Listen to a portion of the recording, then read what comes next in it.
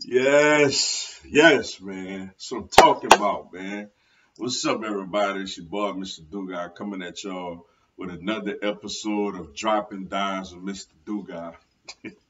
yeah, and tonight I'm going to talk about tonight's game two of the NLCS. You had the Atlanta Braves beating the Los Angeles Dodgers five to four uh, in a second straight walk off. This time by Eddie Rosario to take a two games to none lead in this NLCS. Mm. Before I get into this video for everyone, if you want to follow me on my social media platforms, Facebook, Instagram, and Twitter, I'm going to have all that information down in the description box. May not always get a chance to respond to questions and comments on these videos, uh, so feel free to DM me. And whenever I get a chance to, I'll get back at you. Come holler at your boy. Also, if you're a Madden 22 player on Xbox One, I'm to have my Xbox One gamer tag down in the description box also.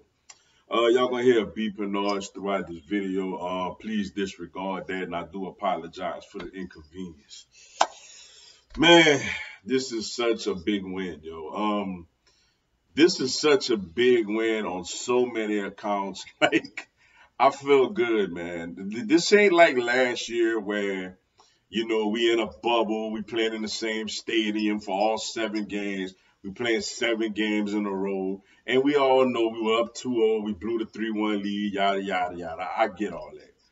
Like this, what makes this win feel so good is that worst, let's say worst case scenario, the Braves go to Dodger Stadium and lose all three games. Let's just say worst case scenario we it feels good now to know that you have a game six and a potential game seven in your back pocket at home in in in Truist Park, not in, in in, the bubble in Dallas, but in Truist Park. And you see how rocking that crowd was tonight. That's that that's big for us to get this win from that standpoint. It's also big for us to show them like we and I felt though we were facing Scherzer I felt good as far as we seen him a lot. Like he was a pitcher for the Washington Nationals for years, and especially our big hitters, we seen him a lot, and it gave me some, um, you know, it gave me a little bit of confidence as far as, you know, we gonna break through on him a little bit, yo. And Joctober does it again. Joc Pederson just smashes a two-run home run, nearly smashed one earlier that just went foul um, to give to tie the game up at two after Corey Seager for them, who constantly is is destroying us, hits a two run shot and um man, just what a what a that bat, what a hit for Pederson just to tie this game up. Uh, then you look again, man. Um, was it what the seventh inning or the eighth inning or whatever inning it was? The Dodgers with uh, Chris Taylor, another guy who's been on fire, gets a hit, gives them a four-two lead and we're going up against Urías and, and, and you know, um, Grant, Grandethor, whatever his name is, and Jansen. And we get two in the bottom of the eight to tie this thing up, yo. yo it was the top of the seventh they scored. We get two in the bottom of the eight, man, to, to Austin Riley comes through in the clutch again. Ron Washington is crazy at third base, but it worked out. Both guys got in safely. Uh, then we go to the ninth, and Will Smith. I tell you what, all season long, Will Smith has made my heart race. Uh, I was I was fed up with him as a closer, but I tell you what, in this postseason where it matters the most, he's been very good, yo. And in the top of the night, he went out there and he shut it down for us, yo. Kept him at bay for the full. Uh, get the hit from from d'Arnaud. d'Arnaud. Pache runs, he gets our fielder's choice.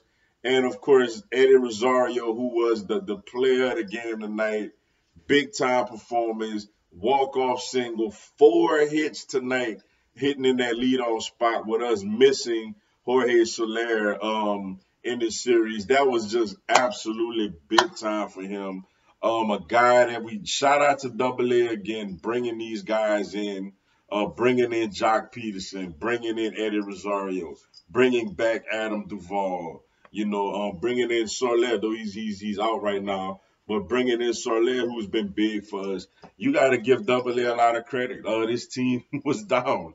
And now, you know, if you would have told me in the middle of the season that, hey, you know, y'all gonna have a 2-0 lead in the NLCS against the Dodgers, I'd have been like, this team, like, with all these injuries and adversity, nah, but it just goes to show you, man. Um, done a great job. Double A done a great job. Um, and we going for it, man. We trying to get it done. Um, also, I like the move with, with Ian Anderson. Only he only pitched two innings tonight. I like the move because you could have seen that Ian didn't really have his best stuff tonight. You could have seen it with a, a lineup like the Dodgers. You can't really play around with that, yo. Like you cannot play around with, oh, maybe you're gonna figure it out in the, in the next inning or something like that. If you ain't looking sharp, we got to get you out. If you're looking sharp, we keep rolling with you. That's just how it is. You know, in this postseason, uh, I love it for Snit. I love that Snit did that for us, yo. Um, bullpen obviously was was really really good. We had the one issue in the top of the seven, but overall the bullpen was very good. Just a big win, man. Like this win is just so huge to beat Scherzer, who who doesn't lose, who the Dodgers just don't really lose like that when he pitches. You know, um, to beat him, to to you know, to to walk off on this team twice, to win both games at home, knowing, like I said, worst case scenario in the series, you have a game six and a potential game seven in your back pocket at home. Um, that just brings brings a lot of confidence, just a lot of energy. Look, let's go get one over there at Dodger Stadium, that's been a house of horrors for us the last few years. But let's go over there. This team is playing with a lot of confidence right now. Look, the Dodgers are really good. I get that. Uh, but let, us go out there and try to try to get it done over there, man. Let's let's get it done. Let's get one over there and really put the stranglehold on this team, man. But just I'm so happy right now. I'm so proud of this team. 2-0 lead on the Dodgers, and I, I like. I feel like we know what happened last year, so we're gonna be cautious of that. Plus, we're not in the bubble, but we'll see. Game three is huge. Um, coming up on Tuesday. I love the fact that we do have a veteran, Charlie Morton on the mound, though. Uh, but with that being said, that's all I got for y'all tonight. Appreciate y'all checking out the video. Hit the like button for your boy. Give me a subscribe. I have Atlanta Braves, MLB, and content from my other three teams throughout the year.